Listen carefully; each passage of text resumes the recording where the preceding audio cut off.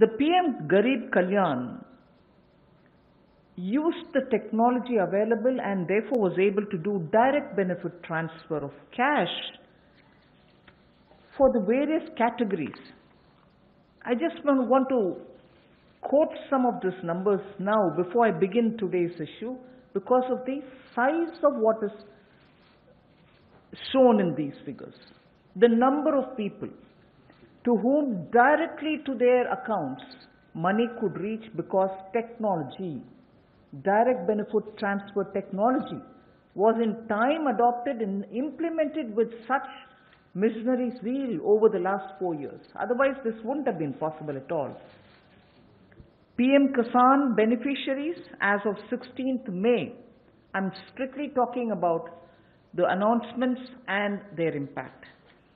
One time transfer of 2000 crores, uh, 2000 rupees each has reached 8.19 crore farmers. And that amount is about 16,394 crores. NSAP beneficiary, the old age and others, first installment 2.812 crores of people, sorry, uh, 1,405 crores of rupees in the first installment, again 1,402 in the second installment. The target was to give away 3,000 crores and that's almost nearly achieved.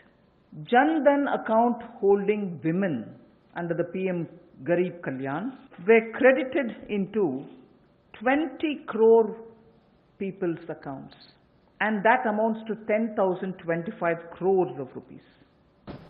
The building and construction workers received their financial support amounting to 3,950.35 crores and their number, the building and construction workers number is 2.20 crores. Imagine each one of these numbers and their implication in terms of size.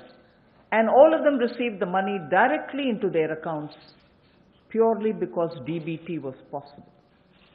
6.81 Ujjwala Yojana cylinders have reached the beneficiaries and they were free cylinders because we had promised up to three cylinders in those three months. To over 12 lakhs of EPFO members have benefited by the online withdrawal of non-refundable advance and that amounts to 3,660 crores.